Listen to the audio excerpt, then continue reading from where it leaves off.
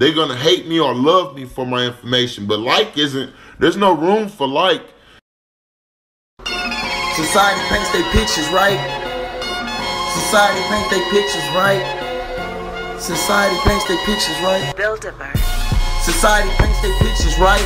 Created a whole concept called black and white. Eugenics in the globe is how we live living right. The caste system, modern day in plain sight. Due diligence, due diligence, due diligence. Fuck that. I'm John Dillinger. I lay a pig with his cuss flat. Behind the sentence, I know I will receive much flack. But I'm the type of dude, if I said it, I meant that.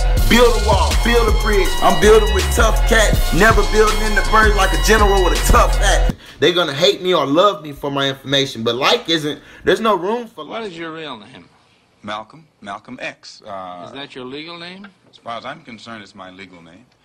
What's up, everyone? It's Indigenous Realist the Realist. I have to interject and say that the opening message from Malik El Haj Shabazz, formerly known as Malcolm X, was profound in and of itself. He asked him if Malcolm X is his legal name. He answers emphatically yes, because he knows himself and he knows that he can't allow society to define him any longer. It's so profound to know because it relates to this day and age where society has chosen for us a definition when the only person who knows you is you. The only person that knows us is us. Redefine oneself is of the utmost importance because the terms black, Negro, colored, and African American are what stops us from moving forward in life and society and as individuals. They are political and social constructs given to a people so that they can have no claim to our ancestral home, which is America, which has been stolen from us and sold off by the Red Indian and stolen from us by the so-called pilgrims, aka the pale-skinned European immigrants. Through our self redefinition can one be free from the mental colonization. But anyway, let Brother Shabazz explain to this paleface why it is improper to have someone else to define you under a name that isn't yours or doesn't apply to you. Have you been to court to establish that I you don't. I, I didn't have to go to court to be called Murphy or Jones or Smith. Excuse me for answering you this way. Oh yeah, I almost missed another profound part of this opening statement. Notice he told the pale skin that he didn't have to go to court to change his name, just like he didn't have to go to court to get the slave master's name. This is important and profound because in this day and age we have people and entities trying to pull wool over our eyes by giving false teachings that only through court can we be free as indigenous aboriginals. I say that is a lie because we didn't go to court to become Negro, black, color, African American, Sambo, Egyptian, or anything else they call us. So why is it necessary that we must go to If court? a Chinese person were to say his name was Patrick Murphy, uh, you would look at him like he's insane because uh, Murphy is an Irish name, uh, a European name, or the name that uh, has a Caucasian or, or white background. And a yellow person, Chinese is a yellow man, and uh, he has nothing to do or no connection whatsoever with the name Murphy. And if it doesn't look proper for a person who is yellow or Chinese to be walking around named Murphy or Jones or Johnson or Bunch or Powell, See, a lot of us fail to realize that there were more than just copper skinned people on these shores who were put into that form of slavery. They did have a small amount of Africans over here also. Just like people of all shades and hues are put into this new modern day slavery, there were two different types of slavery that was happening in North America, not even counting the different kinds of slavery found on the islands and down through Central and South America. But I'll be dropping a video about slavery this week. For now, just know Malcolm, as he was called during this video, made a distinction between blacks and so called Negroes.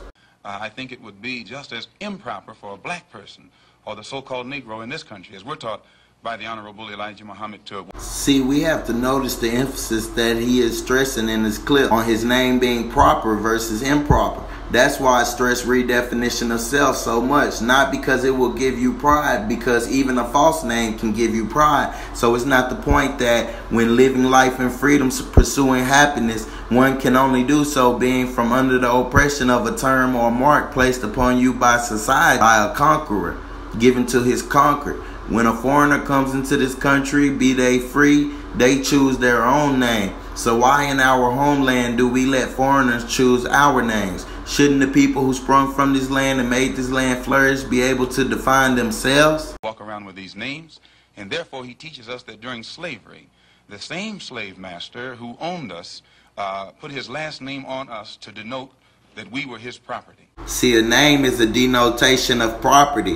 When you are born, you are named twice. Once by your mother, once by the eugenist at the hospital. Your common name being the one your mother placed on you as a seal of protection. The eugenist give you the name that is ingrained on you for 28 days a year, every year. They even give you an extra day when they say the year leaps, whatever the hell that is. The names being slave, Negro, colored, black, African American, etc. These terms all denoting the fact that you are something other than yourself. Society has so many names for us that for us to want to define ourselves would seem absurd to the profane, being those that are still trying to function under these pseudo names. So that when you see a Negro today who's named Johnson, if you go back in his history, you'll find that he was once his grandfather or one of his forefathers was owned by a white man who was named Johnson. His name is Bunch. His his grandfather was owned by a I white man point. that was Uh, named Bunch. See, and I know there are those who choose to place in your mind that slavery didn't exist and that it was all a lie, but in all actuality, it did happen. And I know because my family received our name from the man our ancestors were in a form of slavery too, being not chattel but indentured servants in a way. I will be releasing a video about my personal family history this coming week on my Patreon account. Would you mind telling me what your father's last name was? My father didn't know his last name. My father got his last name from his grandfather, and his grandfather got it from his grandfather, who got it from the slave master. The real names of our people were destroyed. Though I recognize that chattel slavery was only for a certain group of people who were of a certain nationality, and I also want to note that the transatlantic slave trade is, was, and always will be a farce and a complete lie in the form of how history chooses to tell the story. Be on the lookout for my slavery video coming this week on my YouTube channel. Was there any line, uh, any point in, in the uh, genealogy of your family when you did have to use the last name? And if so, what was it? The last name of my forefathers Yeah. was taken from them when they were brought to America and made slaves. And then the name of the slave master was given, which we refuse. We reject that name today. You mean, you mean you won't even tell me what your father's supposed last name was or gifted last name was? I never acknowledged I hope everybody enjoyed this breakdown. I know to the majority you will think things of this nature are boring and that it cannot benefit our current situation. But in all actuality, this bill with me and brother El Haj Malik Shabazz is a necessary topic that anyone from any culture or background should raise when someone or some group of people or entity is trying to tell you that you are whatever they say you are. Only self can define self. Hey, if you enjoyed this video, keep it 100 and share the video. Give it a thumbs up. Make sure you subscribe and hit that bell button because haters and those with their own agendas are going to want to send trolls and thumbs down and disrespect in the comments. So leave a comment down below. Let me know your thoughts. I will be answering all comments as you. I am indigenous realist, the realist, the realist, the realist. Uh, I am indigenous realist, the realist, the realist, the realist. Uh, I am indigenous. Go, go. 50 on me. Nine stacks talking about caliber. I'm the realist. I do this shit without a fucking manager. Whoa. These nigga feds, they got white boys over them, they handle it. Straight scammers. Leeching out the community like scavengers. Kill 'em. I am indigenous, raised by the tribe, not villagers. I have no time for the pillagers, still stay strapped like diligent. Bang! You don't hear it, but you feel it, bro. I kill a beat like a scrimmage. I yank T like a damage. Clear you too like a blemish. Can't let a dude stop my mission. Used to gang bang, kind of crib. Now I bring out full of children. Bang real hard for humanity upliftment. See through clones, they be glitching. Key favorite code supposed his image. Damn. Got a passion for knowledge, plus I'm gifted. Raised up high on my square, I'm uplifted. Y'all ain't even hear me say glyphed right. like, like hieroglyphed, like like glyphed, like you know, I put like lifted with glyph.